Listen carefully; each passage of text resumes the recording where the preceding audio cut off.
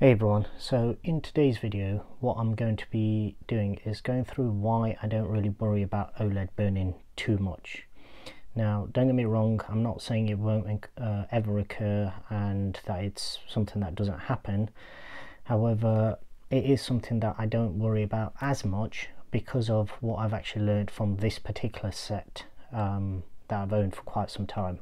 So this TV that you're looking at is a LG PS3000 I believe the model number is. It's a 50 inch plasma TV that I actually bought in 2009. Now the reason this is relevant is because very much like OLED, um, plasma is obviously also uh, a technology that is um, susceptible to image retention as well as burn-in. Now what I'll do is if I just hit play and whilst I'm actually running through this particular test what you'll probably find is the colors will look completely off when it gets to white. That's just something to do with the way that um, the camera's refresh rate as well as the uh, the TV's refresh rate. So you can see lines going down. None of those are actually in the picture. That's just the the refresh rate of the camera so yeah here as you get to the the white as you can see it's it's got a yellow kind of banding. I'm not sure what what that is but i've tried all the refresh rates on the camera and all of them seem to have it. But essentially if i if i just come in um, maybe it's because i'm locking the uh, the brightness level. But essentially what's what's happening is this particular tv is as I say it's probably what 2009 so 11 years old now. And if you look at it just uh, let me see if I can actually try and get this to focus a little better. What I might have to do is just come out of it lock the focus and then I'll run that again. And once we get to the same spot uh, in fact yeah just carry on. So once you get to a dark screen just around here what you should be able to see is just a a ghosting of um, what was on screen previously. Um, I know the, the red's going to look completely orange, but that's unfortunately what I have to do to try and get the colours right. But essentially, coming back to the point, um, plasma technology and OLED, they're very similar in the fact that they, they had the same kind of um, problems in the sense that image retention was really bad. On, on plasmas in particular, it was really, really bad. So as you may or may not have seen, what I'll do is I'll just go back to this screen and I'll leave it on this screen for a little while. And what you'll notice is when I first start the, the test this will actually be very visible. All of these kind of uh, playlists marked as watch it will be very visible um, and that's image retention not burn-in. This particular set what I actually did was when when I first purchased this I actually bought two of them. Um, I bought two PS3000s and there was also a, a, higher model which was the PS6000 um, the only difference between the two was the fact that if you uh, the PS6000 actually you could plug in a USB stick and it'll actually play back media. Um, that was just a setting that I actually got the engineers remote and I actually changed that. So this essentially is uh, a PS6000 but that's besides the point. Um, what I'll do is I'll run this from the start now. And what you should be able to see just there in fact even on this this you might even see a little bit of ghosting from from that. But basically what happens is it retains bright objects, anywhere where there's been bright um, images on screen, it'll retain that into the, the kind of memory um, and it will take a little while before the pixels actually uh, refresh. And on plasmas in particular, what happens is if you've got a fully dark scene and you've got say a logo in the top right, until something bright then gets to that same spot and actually changes whatever that, that uh, ghosting was, it'll, it'll just remain there very faintly, but it'll, it'll remain there. Now OLED is obviously very similar in the sense that, and what you might see is this, bearing in mind this is an 11 year old set, and the only thing that is noticeable is a little bit of vertical banding that isn't actually noticeable during content. It's only actually visible during this type of um, test I'm actually running. It's probably going to be more so uh, prevalent in, in the next test I actually do, but if I actually come in here, come into all the the normal kind of areas. What you'll notice or hopefully not notice is any type of burn-in. And for a plasma TV that's 11 years old that the primary use for this TV has actually been um, sports. Um, it's been heavily used for movies as well, but this this set in particular was the one that is uh, was in the place of uh, my now LG TV.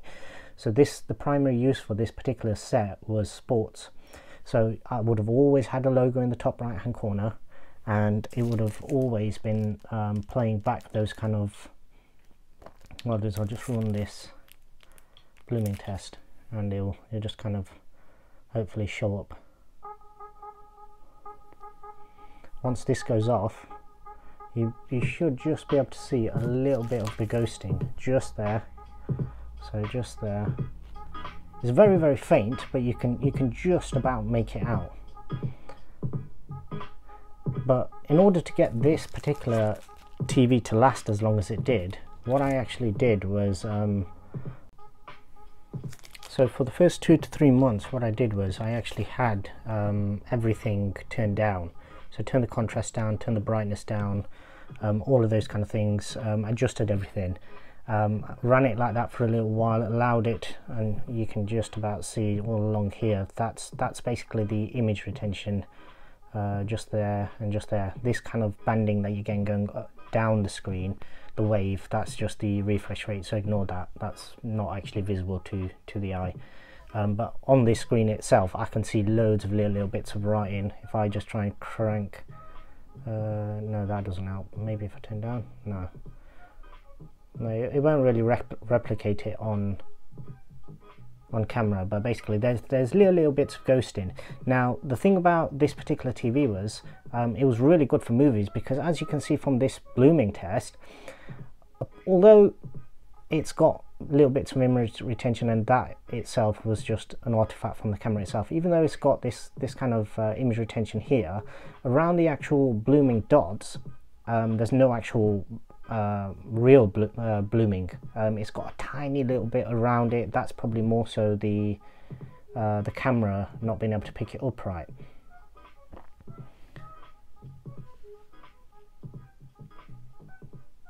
Let's try it there. But in terms of the actual picture itself it's not like the old LEDs of the time where you would have had massive clouds of uh, blooming all in the corners or in certain areas maybe at the top of the screen bottom of the screen shining light up. This was very much um, a prelude to what what the uh, OLED technology actually gave us in the sense that it gave us this but without this kind of um, grey uh, screen. And the greyness um, you have to kind of uh, ignore to an extent because the reason it looks like that is because I've actually got an anti-reflective coating on this particular screen, this one and also my other uh, 50 inch plasma. Um, and the reason I added those was because of where these were originally kept. And basically um, I bought it came as a set. It came from America the film that I actually put on top of it. And because of that basically I just put added it to both of them and I ended up leaving it on there. But essentially this TV 11 years old uh, plasma TV any of these kind of and this this will be a good test because when that goes off if I was to go back to a black screen it'll, it'll show subtitles text test there. But as soon as any bright um, content comes on if I then go back to a bl uh, black screen it'll be gone again. So the fact that I managed to make these last 11 years plus and it was only for maybe the first two to three years that I was actually mindful of of the fact that these are these are what they are. Um, this one was my personal TV, so this one was either here in my bedroom or it was downstairs in the uh, front room movie room as, as we like to call it.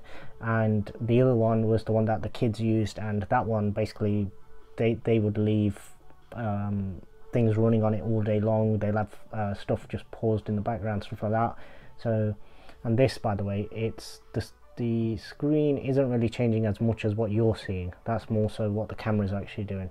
Let me just see if I can try and lock that in. The point here is any technology that you buy um, as long as you mitigate any particular risks then you can make any any particular type of technology work for you and it is that is pretty much what it is as well. You do have to be mindful and you do have to kind of think about what it is that you're actually using. It's been brought up that oled technology is something that you should never consider. Um, it's not something that um, should be recommended to anybody and th things like that. Whereas in in reality it's as long as you're looking after it and you're doing the right things um, there's no reason why the, these sort of technologies shouldn't be able to last for quite a while.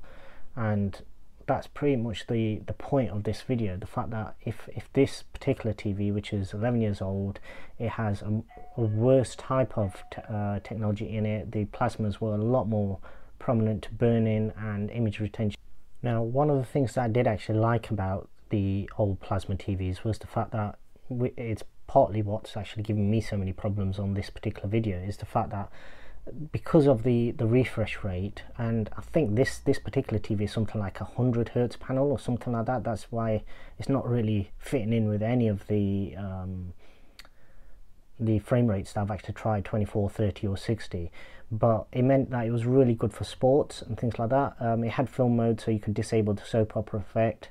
Um, had no problems watching movies back, anything like that. But it's just the fact that it had those problems with it. So it did have those uh, common problems of image retention and burn-in. And as long as you were mindful and you weren't um, silly in terms of how you actually handled and uh, dealt with the TV. As you can see, it has got the logo there. Um, as soon as I go to a white screen uh, or bright screen, it'll then get rid of that and the next time it comes to a dark screen it, will no longer be there.